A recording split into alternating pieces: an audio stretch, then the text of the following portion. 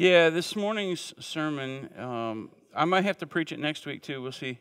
Uh, because it, uh, yeah, it really, it, I mean, it really calls us out. So, and uh, we're in this, we're in this series looking at uh, um, what Jesus has said, what was recorded him saying.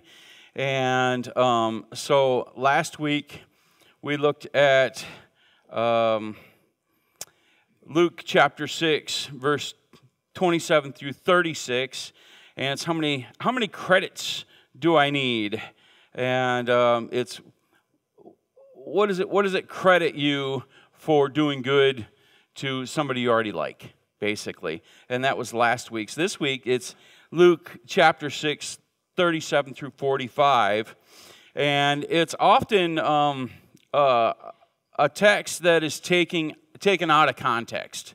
Uh, it's used wrong, and um, we're going to we're gonna look at it in the light of, of how Jesus meant it. He is uh, giving the Sermon on the Mount. He's up on the hilltop, it's a, a flat part of the hill and he's speaking to his disciples, but yet there are hundreds and hundreds around him um, that are listening, so he's also speaking to them, whoever will listen. Um, that was the beginning of last week's sermon. Uh, but to you who are willing to listen, say, I say, love your enemies. And he said that a couple of different times in that passage to love your enemies. So, um, I don't. I don't script any, any of these sermons, so I don't, I don't know what God has, has, has for me or has for you. It's kind of interesting that we, you know, we're in this journey together and we just follow through. And what you get out of it is what you need, and what I get out of it is what I need. And most of the time, I'm getting beat up pretty good because that's just the way God does. He judges the preacher more than he judges everybody else. So let's go ahead and let's take a look at this and, and see what's up for today. I'm reading out of the New Living Testament. It says, Do not judge others, and you will not be judged. Do not condemn others, or it will all come back against you. Forgive others, and you will be forgiven. Give, and you will receive. Your gift will return to you in full, pressed down, shaken together to make room for more, running over and pouring into your lap. The amount you give will determine the amount you get back. Then Jesus gave the following illustration Can, can one blind person lead another? Won't they both fall into a ditch? Students are not greater than their teachers, but the student who is fully trained will become like the teacher. And why worry about the speck in your friend's eye when you have a log in your own? How can you think of saying, Friend, let me help you get rid of the speck in your eye when you can't see past the log in your own? Hypocrite. First, get rid of the log in your own eye. Then you will see enough to deal with the speck in your friend's eye. Let's pray. Father God, we thank you so much for this 4th of July weekend. We thank you that. Uh, um, our friends and, and family of CrossCulture are, are away and renewing their, uh, their batteries, recharging their batteries. Lord, I just pray you watch over them. I pray that each and every one that you would keep them safe, that they would have a great time, and that they come back to us um, uh, full of vigor and just and just um, have a have all the stress of the world off off their shoulders because they got away for a while. We know how important vacations are. And sometimes they can be stressful too. So we pray that, uh, that you'll relieve the stress from those who are on vacation. We thank you for those that are visiting um, our church today from other places. Lord, we pray that you uh, pour your, uh, your grace out on them. And there are other, other folks from all over that come to Lexington and Peck and, and Sandusky and, and they visit our churches on this weekend, and we just pray that, uh, that they'll be renewed um, by your Spirit. Now, Father, we ask that you would open up this, uh, this word to us and uh, that we'll learn something from you. In Jesus' name we pray. Amen. So, this passage, it says, Don't judge others, and you will not be judged. This is a passage that gets pulled out of context all the time. Well, you can't judge me. You can't judge me. The Bible says, Don't judge. How many of you have heard that over and over and over again? The Bible says, Don't judge. Is that what this is that what it says? Actually, it says, Do not judge others. And you will not be judged.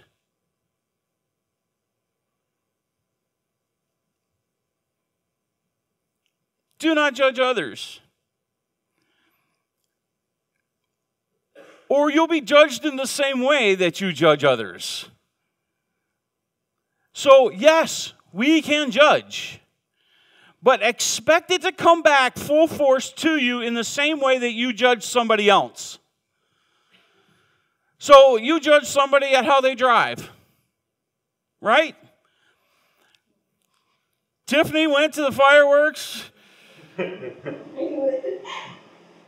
Lexington, and the drivers were absolutely nuts. And I'm glad I was not in the vehicle with her because Charlene was going crazy and telling her how to drive.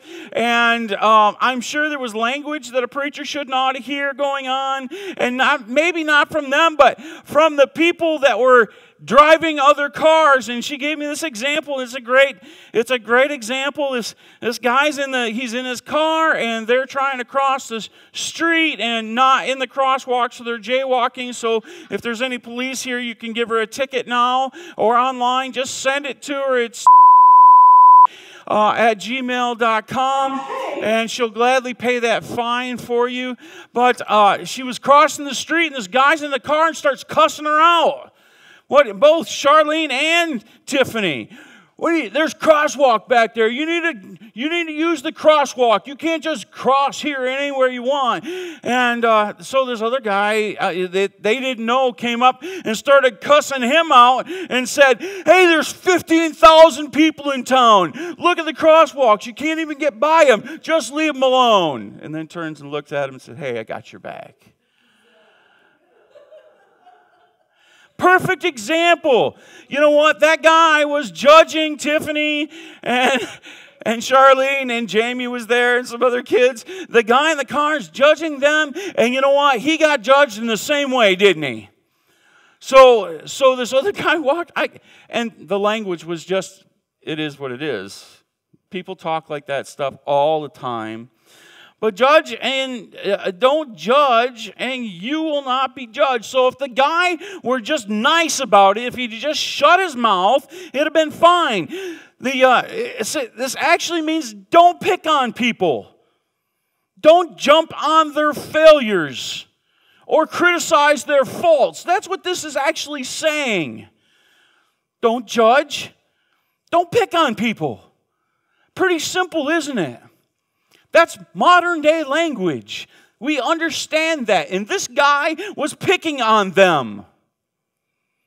Don't jump on their failures. Were they supposed to be crossing there? Heck no. We have crosswalks for a reason. They're for your safety.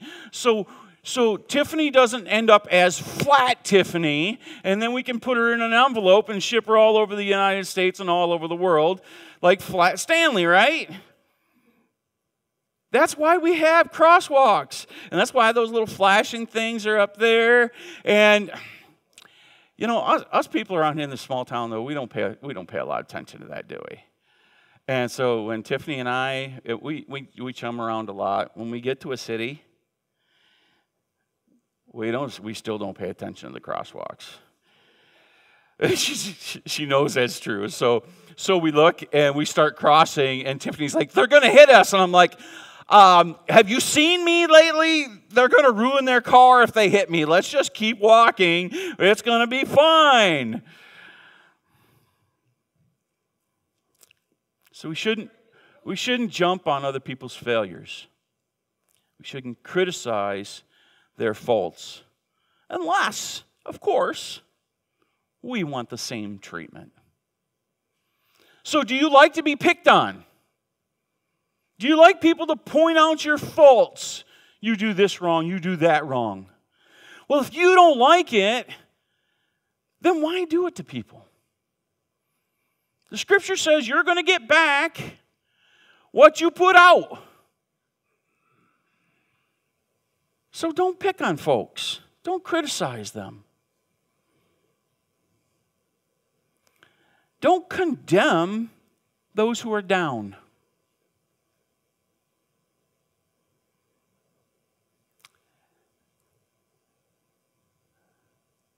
See that kind of that kind of hardness when you pick on somebody that's down, that kind of hardness, that'll boomerang back on you real fast.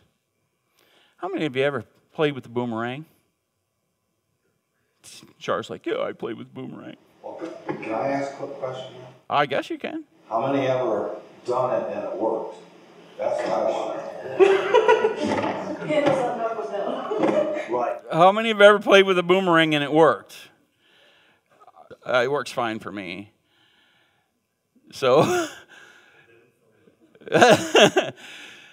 so this, I mean, this type, this type of thing boomerangs on you, and what the, what that means is it's it's going to come back and bite you in the butt.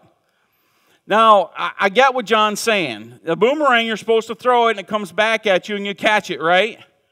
That, so he is he's basically making my point for me, because how often do you throw a boomerang and it comes back and you catch it? That would be working out good for you. See, we're talking about this here where you throw the boomerang and it comes back and it hits you upside the head, or it hits you someplace else, or it tags you where it might hurt quite badly. This is how the boomerang works, and this is what happens when we treat other people wrong. It almost always comes back on us. It almost always uh, makes life more difficult. See, because if you're easy on people, you find that life is easier on you. We wonder why we struggle so much, why we go through all these challenges, all the, all the, the, the crap of life. Well, you know what? How are you treating other people? If you're not treating other people good, if you're if you're disrupting life and walking through places that's not the correct crosswalk, you're making life difficult on other people. And so it, therefore it's going to be difficult on you. Sorry, Tiffany. Do right and right comes back. Do good and good comes back. This is what Jesus is teaching to the apostles and the surrounding people that are, that are, that are, that are listening. I'm sure there's lots of folks that aren't listening. I'm sure there's lots of folks that are just sitting there waiting for the free meal because Jesus likes to do those kinds of miracles, doesn't he? You know, maybe they wanted some fish and some bread. Who knows? Be easy on people and you'll find it, find that life is easier on you. Give away your life and you'll find life is given back. So do things for others, and God will bless you. He will bless you abundantly. And so you'll find life given back, but not merely given back, given back with bonus and blessing. Giving, not getting is the way.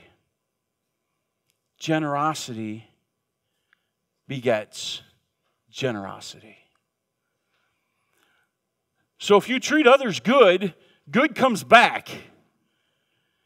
If you treat others bad, bad comes back.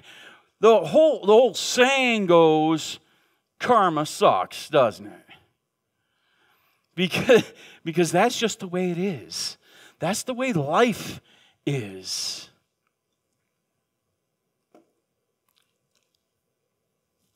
The amount you give will determine the amount you get back.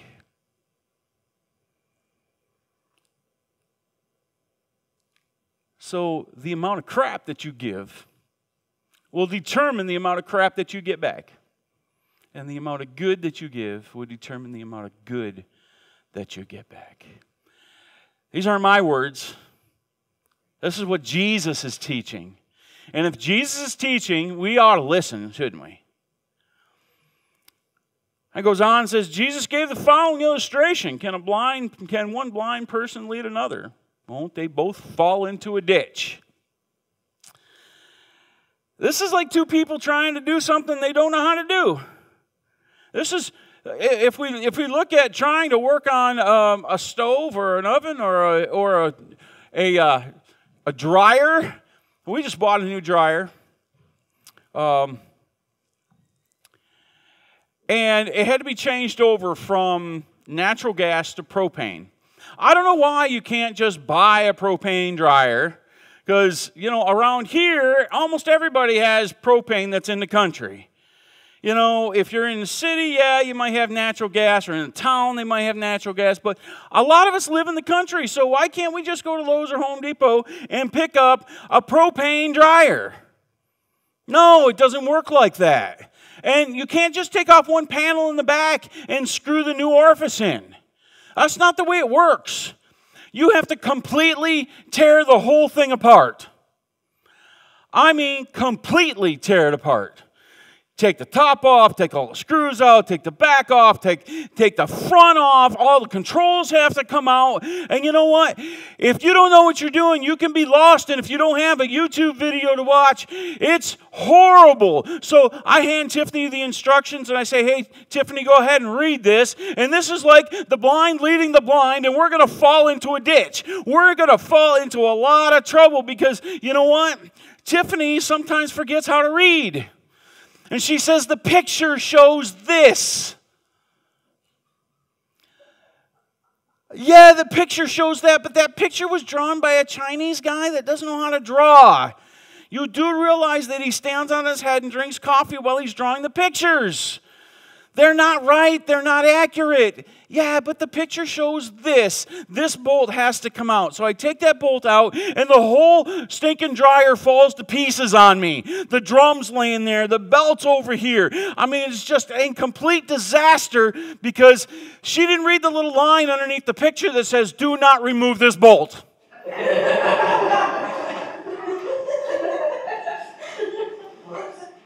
Whoops.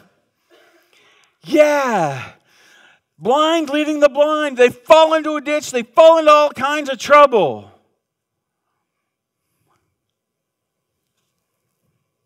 And it's kind of like the also the, the, the student trying to be smarter than the teacher.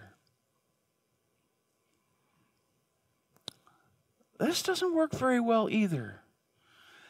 Lots of times that I'm working on a computer. You guys know that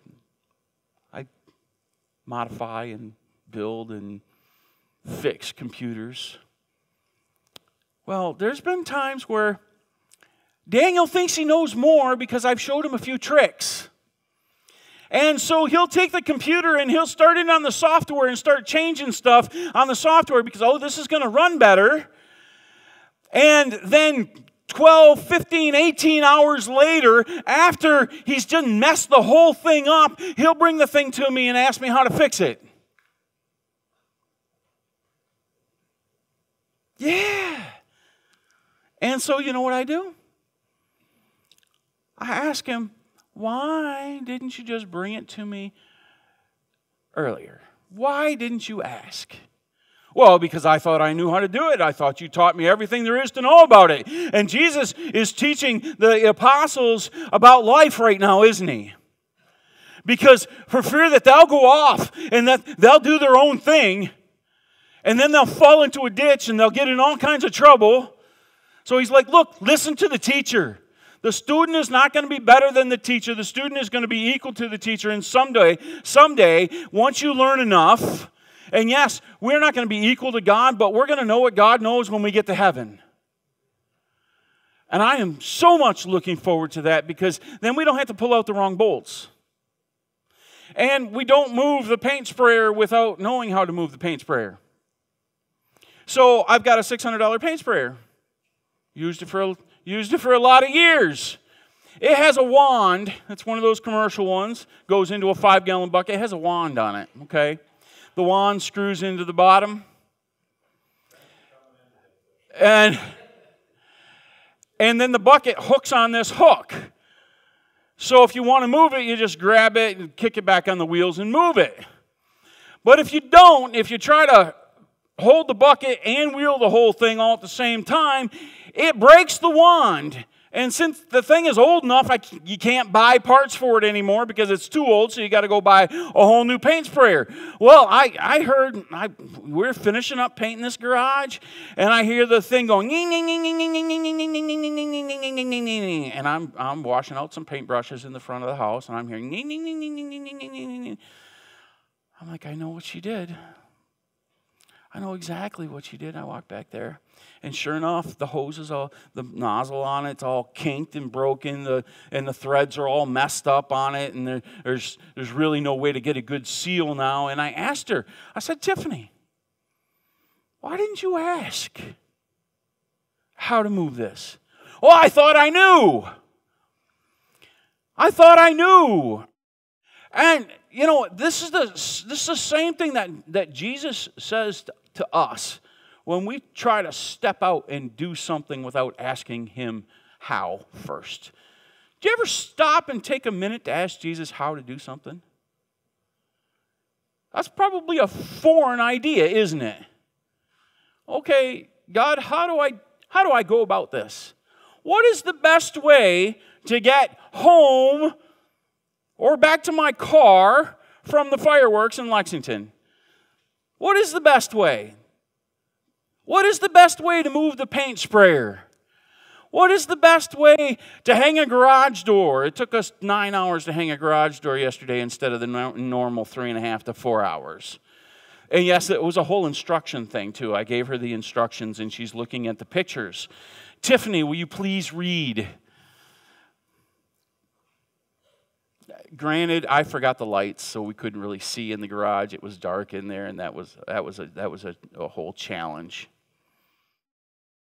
Students are not greater than their teachers, but the student who, who is fully trained will become like the teacher. And I so want to be like Jesus. He is kind and gentle, isn't he? He's taking his precious time to sit on the side of a mountain and teach. And you notice he's not being nasty, he's not being cruel. He's just being honest.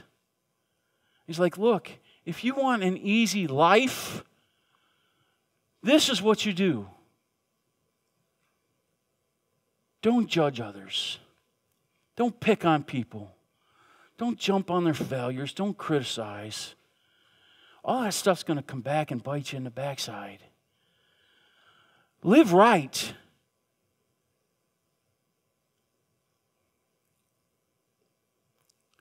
And then this whole speck in a in somebody's eye.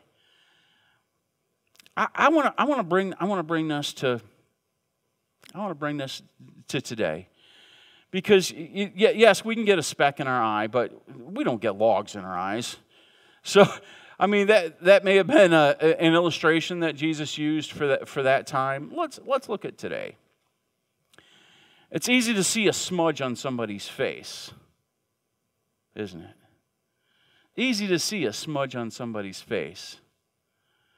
It's real difficult to see the scowl on ours. Ooh.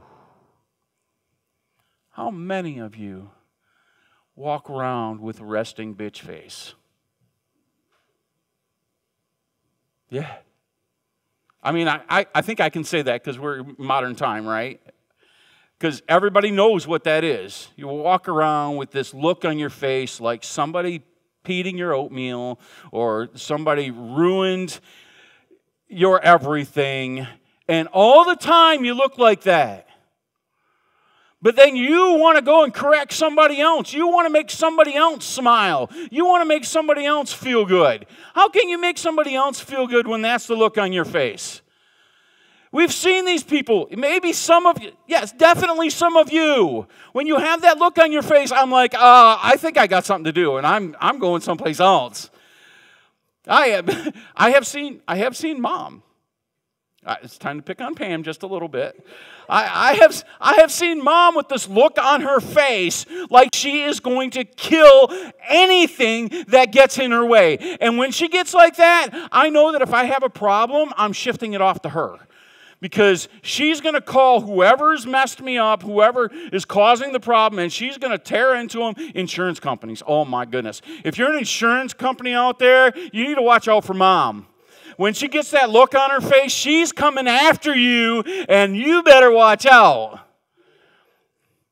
But then, but then when she's got that look on her face and she goes after somebody, how do you turn on the smile and say, God bless you? I hope you have a great, thank you so much. I hope you have a great day. So you're on the phone and you're blessing them out and you're using all kinds of language that it's not swear language, but it, it could be translated swear language. And then once you're satisfied with the outcome, you're like, Thank you so much. I appreciate you. You've done a wonderful job. Can I do anything more for you? No, that was just perfect. I appreciate it. God bless you. I hope. Whoa! Some people need the fear of God. I know, but you can't turn it around.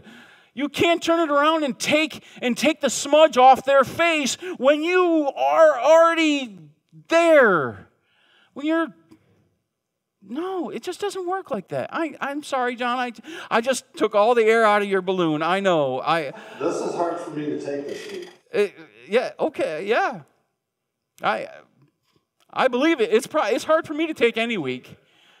it's hard for me to take any week. I mean, it really is. It's easy to see the smudge on your neighbor's face and be oblivious to the ugly sneer on your own. Do you have the nerve to say, hey, let me wash that smudge off your face? When your own face is distorted with contempt.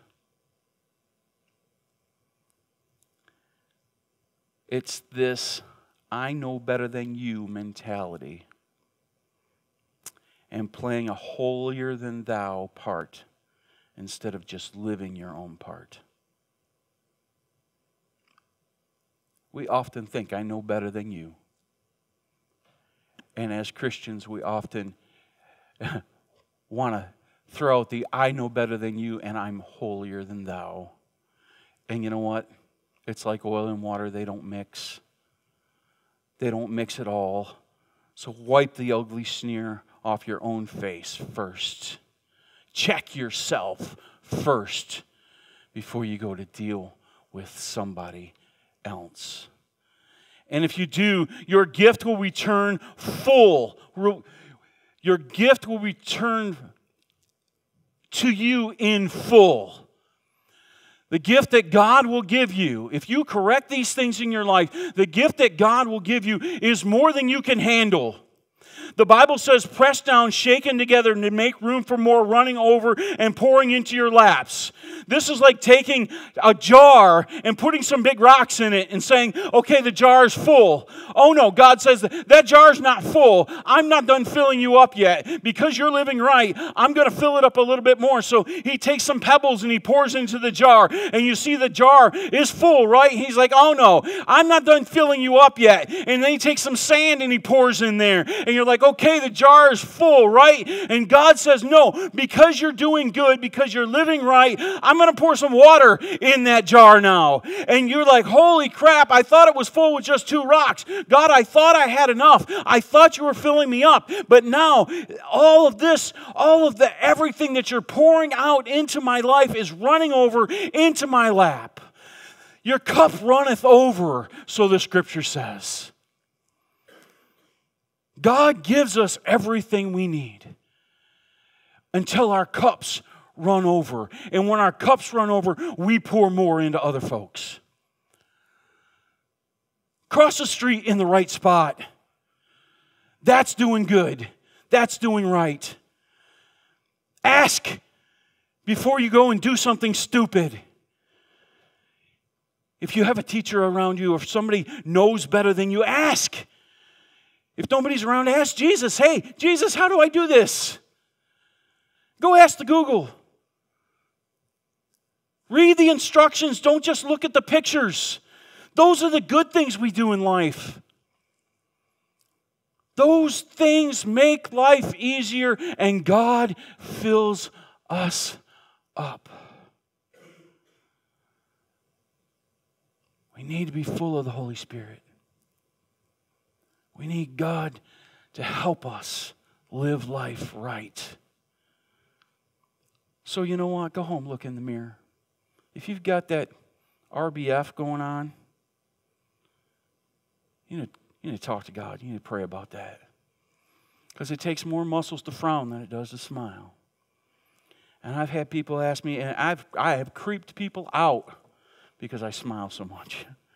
I, I, can be, I can be mean, I can be nasty, but most of the time, I'm just smiling to smile. It's fun. And I like to creep people out. That's kind of fun. Tiffany. Never mind, Tiffany. Smile, smile when you're being mean and nasty. See what that. Exactly, yes. People get really ticked. Yes, yes, yes. So if Tiffany and Charlene would have been, God bless you, thank you so much for letting us cross in front of you, the guy would have been even madder, right? I'll, I'll pray for you. Yeah, of course, that could be an example of the smudge on somebody's face when your face is already nasty. You know, because lots of times the I'll pray for you turns out to be condescending. And it's the tone and everything like that. So, the amount you give will determine the amount you get back. The amount of bad you give will determine the amount of bad you get back. The amount of good you give will determine the amount of good you get back. Tough lesson today for all of us because we all need to keep in check, don't we? We need to make sure that we're right. Let's go ahead and pray. Father God, thank you so much for your scripture. Lord, thanks for beating us up today. Sometimes we need that. But Lord, when you beat us up, you also fill our cup. And we ask that our cup will run over. Lord, that we can pour that into somebody else. Father, we thank you for the beautiful day. We thank you for the beautiful fourth that we had on Thursday. And uh, we just pray that you continue to work in our lives. We love you and we thank you. In Jesus' name, amen.